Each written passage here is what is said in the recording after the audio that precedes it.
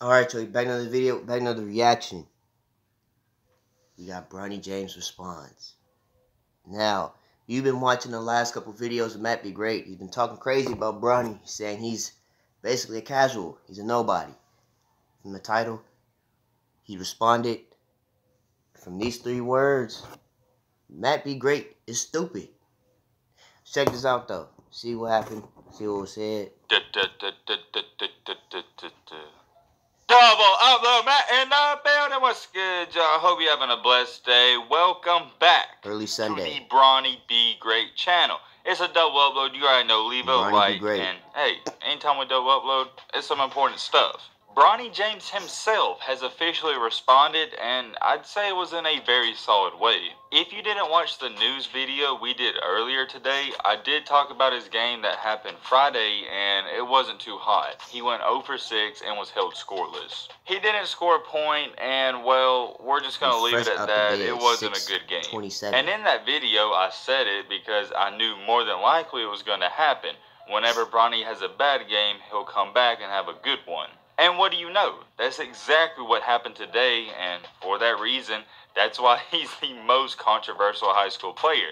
You can't tell if he's great or if he's average. Or maybe he's not the most controversial player, but he's the most intriguing because you can literally make an argument and state why he's not that good, but you can also make an argument and state why he's good slash great. And that's why it's hard getting your opinion on him and even talking about him because you can go either way. Let's talk about today's game though, because that's why we're Oh, I here. thought and it Bronny a actually said something about Matt Be Great. Oh man. Team Strive for Greatness went up against Team Final, YouTube and the game again. went down to the final buzzer. I know you want to hear his stats, And they got and that's bamboozled on YouTube once we're again. focusing on, so I'll get that out of the way first. Bronny's official stat line from the game was 9 points, 8 rebounds, 4 steals, and 2 blocks.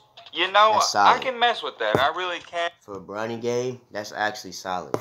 because we know by now that Bronny's not going to light it up and he's not a pure scorer and he's not going to give you 25. I'm not saying he can't do that, but that's not his game style. He has his own play style and it's unlike any other. There's not really a label to put on him just yet, but if I had to put one, I'd say he's almost like a playmaking defensive point guard. He's going to get others involved. He's A a, good floor general, defensive and point guard. he's going to hit some shots here and there, but he's not looking for them. Should he look for his shots? Yes, because he has a great jump shot and great form, but we know he doesn't. And we live in a generation now where, and even I do it, we focus on points. Let's just be real. So when we see a player of Bronny's caliber only put up nine points, we think it's not that impressive, but I'm starting to understand with Bronny and some other players, you gotta look deeper than the stat line and the points. If you didn't see the highlights, Ballislife did post this game on their YouTube channel, and there's some more going around too.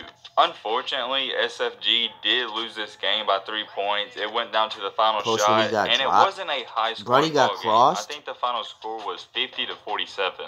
It was something like that, but I've been seeing people talk about this, and I started to pay attention to it because you could watch this game on a live streaming service, and people are starting to say that Bronny's teammates may be envious of him and they don't pass him the ball. People are saying stuff like he only gets the ball one out of four Oh, man. possessions. Alright, hold on. We're gonna be right back.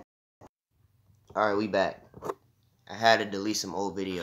They don't look his way. So I started to pay attention to it, and I mean, I guess if you said that about anybody, it would be true. I don't think his teammates are quote unquote envious of him, and they're not passing him the ball on purpose. So I'm throwing that theory out of the window. I did want to speak on that just a little. If you have an opinion about that, let me know in the comment section because I'm very curious. Also, one very bright side of his game, and I gotta give credit to him, is that he had yet another great defensive performance, and nobody talks about it. Me personally, for Bronny's age, I think he's one of the top on ball defenders for his class. Is he the best defender? It's debatable, but not too many people get down in a stance like him and try on defense.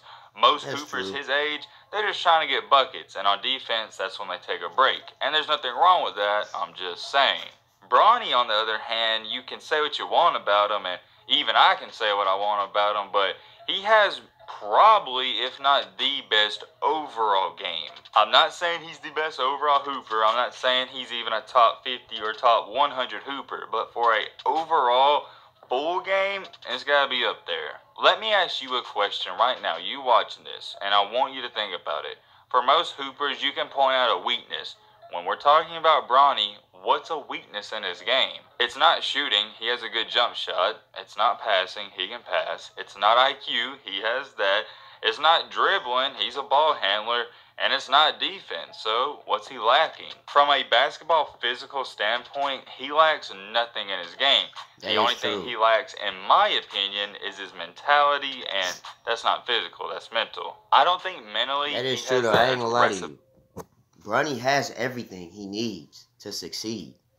Just that he's not really utilizing it like how we think he's supposed to. Because you know his dad is LeBron, and you think LeBron is supposed to make him, you know, from what he is now to the goat. attitude just yet, but he can still get there. Oh yeah, how can I He forget to mention yet. too? He's what six foot four, two ten. I mean, so from physical attributes, 210. this is your dream build. If you were to create no an way NBA Bronny 2K 210. player right now, Bronny Already? is more than likely the build and That'd player you would choose. Let's get So back he to bigger than business and let- Westbrook.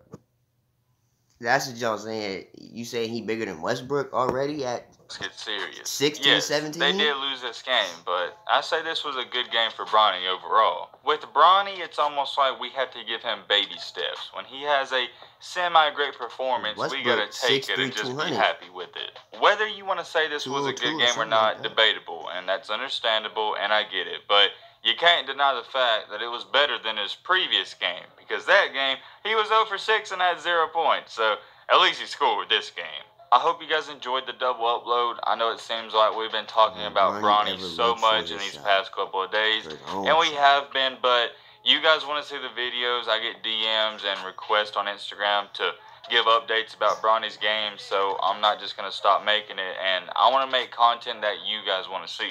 We've definitely been talking about Bronny a lot, though. So if some of you are getting irritated or frustrated by that on the channel, I get it 100%. But tomorrow I got a special video that doesn't involve Bronny, and I think you guys will enjoy it because we're going to be talking about two other Hoopers. And before I end this video off, if you have made it to this point, if you want to see any it. type of videos or have recommendations, Yeah, I think that's it. Anyways, let's go off this video. Make sure you guys like, comment, subscribe to the channel, and I'll see y'all in the next video.